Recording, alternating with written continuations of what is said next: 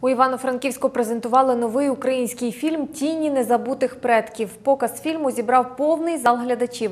Їм про кіно детально розповіли режисер Любомир Левицький та й самі актори. Цікаво, що багато зйомок відбулося на західній Україні, зокрема у Чернівцях та на Верховинщині. Тіні незабутих предків з'явилися протягом двох років. За цей час розповідає режисер. До речі, гусул за етнічною приналежністю Любомир Левицький. Трапилося чимало цікавих історій, які не вплинули на якість фільму. Попри молодий вік, вже знаний режисер ставив перед собою єдине завдання створити якісний український продукт, який би мав попит серед української молоді. А це не так просто було зробити, оскільки молоді люди здебільшого вважають за якісний рівень голівудський формат. Відтак потрібно було відштовхуватися саме від американського стандарту, переплітаючи його Україною, нашими знову ж таки акторами та природою. На сьогоднішній день є все-таки, е, ну ми можемо бачити наявно той голод до свого продукту, до свого якісного продукту, якого давно вже не було. І всі, е, вся, вся ця молодь, вся аудиторія наша, на яку ми зробили, розраховували це кіно, вона прийшла і виходить із залу з змішаними почуттями. Вони не розуміють, ну тобто це відчуття, яке вони відчувають після фільму, воно є новим для них. Бо е, вони дивляться своїх героїв, своїх локаціях, своїх місцях, на своїй території, в своїй державі, от, своєю мовою, але воно є ну, не викликає відчуття якоїсь такої, знаєте, осередковості. Ну, тобто не, не, відчувається, що воно якесь тут зроблено місцевими. В основі сюжету тіни з незабутих предків хлопець Іван, який краде з колекції рідного університету артефакт з гарду, навіть не підозрюючи, чим це загрожує.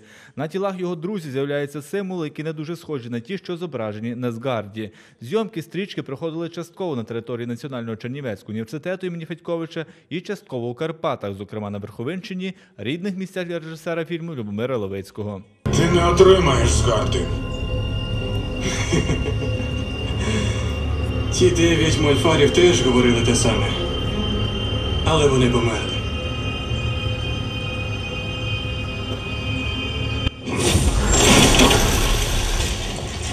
Зацікавив численних глядачів і той факт, що головним оператором тіней був Марк Еверлі, який працював головним оператором американської саги Сутінки.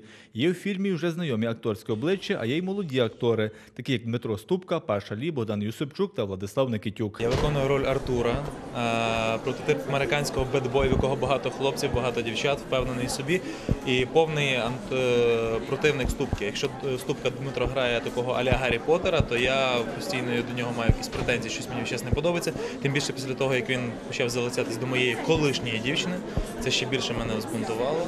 От і тобто негативний персонаж такий. Е, Своєю ролью так і задоволений, бо вона трішки є така двозначна, бо було над чим попрацювати.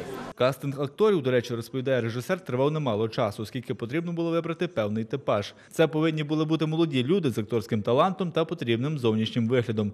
Аби досягнути результату, переглянуло близько 12 тисяч молодих українців. Критерії були такі: актор мав бути красивий, актор мав бути талановитий, актор мав мати е, акторську хоча б мінімальну освіту і досвід, і досвід там, ну, мінімальному процесі.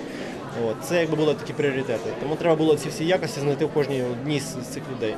От, е, в принципі, чому і з цих 12 тисяч ми відібрали тільки таких найкращих. Після презентації тіни в обласних центрах України далі його повезуть демонструвати країнам СНД, і можливо в майбутньому варто очікувати появи на екранах продовження якісного українського фільму.